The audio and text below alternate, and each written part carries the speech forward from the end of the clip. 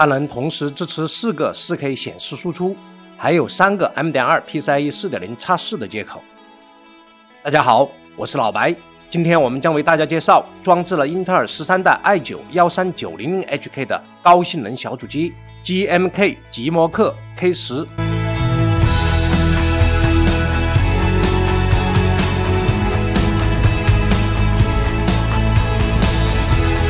十三代英特尔移动 CPU 是整整两年前发布的，但它仍然是英特尔在迷你主机中的主流产品。而去年发布的第一代 Ultra CPU。迷你主机装机的数量可能还没有到两位数。如果要购买英特尔 CPU 的迷你主机，大家认为是买十三代酷睿，还是去年的第一代 Ultra，或者是现在正在新宣上市的第二代 Ultra 呢？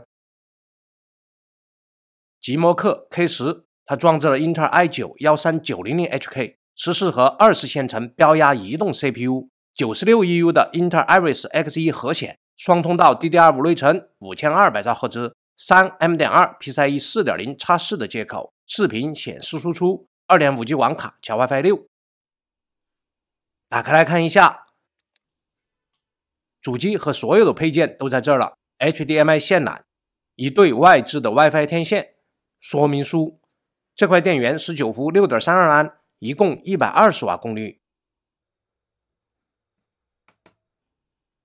小主机是黑色金属机身。右下角是 GMK 公司标志，机身接口、前面板、耳麦接口、双 USB 3.2A 口、Type C 数据和显示接口、十 Gbps、双 USB 2.0接口、电源开关键。后面板 WiFi 外置天线接口两个，双 USB 3.2A 口、双 USB 2.0接口、HDMI 2.0接口。DP 一点四接口，又一个 HDMI 二点零接口，二点五 G 网络接口，十九伏电源接口，COM 口，前部、顶部、后部都有通风口。徒手卸下固定螺丝，推开盖板，我们来看看都有哪些接口。双通道 DDR5 五千二百兆赫兹内存，三个 M 点二 PCIe 四点零插四的 NVMe 接口。我们装好盖板，翻过来再看看，扭松后部固定螺丝，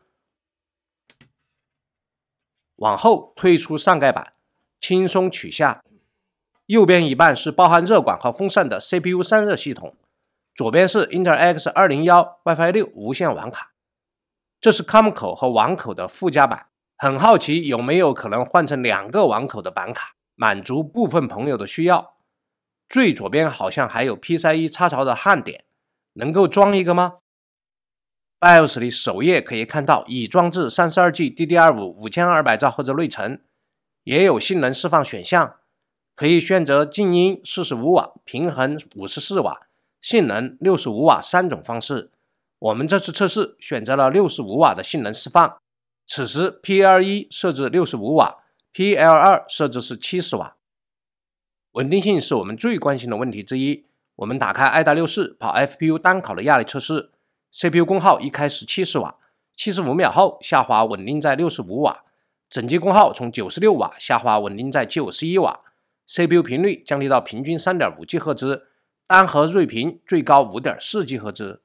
我们一直单考了一小时十分钟，K 十的幺三九零零 HK 功耗一直保持六十五瓦，CPU 温度最高九十度，SSD 温度最高四十度，不高。我们用 GMK K 十迷你主机的 i 九幺三九零零 HK CPU 来转码，看看实际能效如何。最后结果是十分五十五秒，共计六百五十五秒，接近我们测试过的 MS 零幺的幺三九零零 H。CPU Z 多线程七千五百四十五点五，单线程八百六十九点七，这是目前我们测试过的最高的 X 八六迷你主机 CPU 的单核性能。原因是我们在系统电源模式里设置了最佳性能，据说只对十三代 i 九 CPU 有效，多线程成绩超过了 K 十一的八九四五 HS。Geekbench 五多核一万二千九百四十八，单核两千零五十三。多线程成绩高于 K 十一的八九四五 HS，稍低于 MS 零幺的幺三九零零 H。Geekbench 六多核一万三千六百三十五，单核两千八百五十二，多线程成绩与 MS 零幺的幺三九零零 H 几乎一样，超过了 K 十一的八九四五 HS。Cinebench 二二三多核一万五千九百八十九，单核两千零一十八，单核成绩接近最高，多核成绩低于幺三九零零 H 和八九四五 HS。Cinebench 二零二四多核九百七十一。单核一百二十一，多核成绩高于幺三九零零 H，低于八九四五 HS。Passmark 多线程三万一千一百三十三，单线程四千三百四十，多核低于幺三九零零 H 和八九四五 HS。综合来看，六十五瓦性能发挥的幺三九零零 HK 接近同是 i 九的幺三九零零 H，也接近 Ryzen 九八九四五 HS。接着看娱乐大师。总分一百四十万三千六百零二，CPU 得分六十七万一千零七十五。我们给 i 九幺三九零零 HK 运行了 OpenW 测试，AES 七十六万三千七百七十八，叉叉二零四十一万五千四百五十一，CoreMark 四十四万四千七百六十八。在 CoreMark 成绩上，它超过了 MS 零幺的幺三九零零 H。接着我们来玩游戏，《英雄联盟幺零八零 P 高画质》。最后大团战平均一百五十帧左右。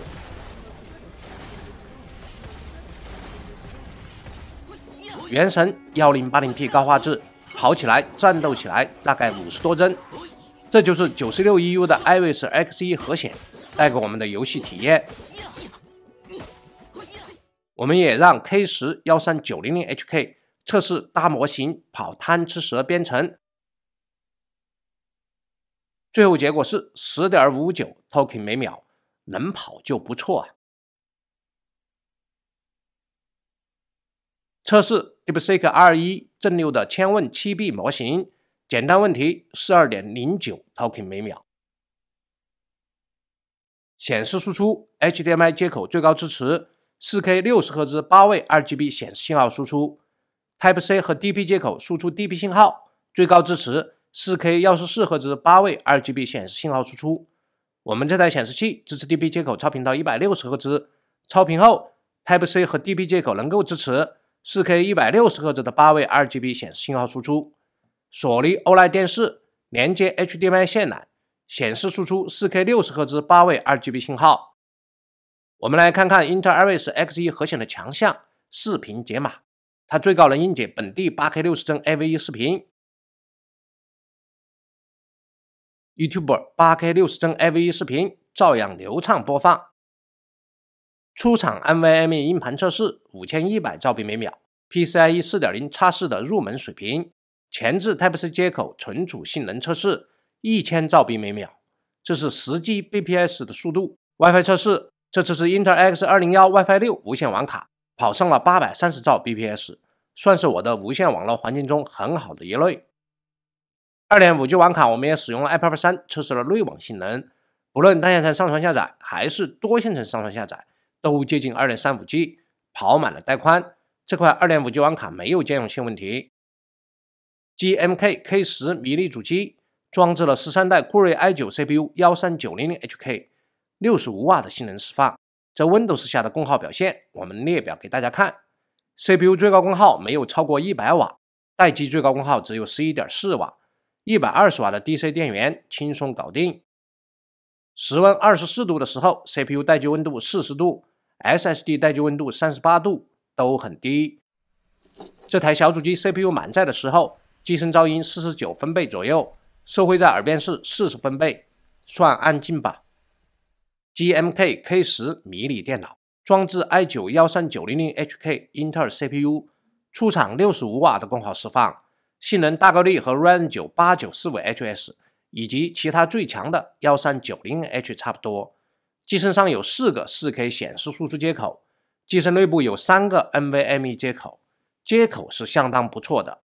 缺点吗？如果能取消 COM 口，增加一个 2.5G 网络接口，或者恢复 PCIe 插槽，就能让这台小主机更加完美。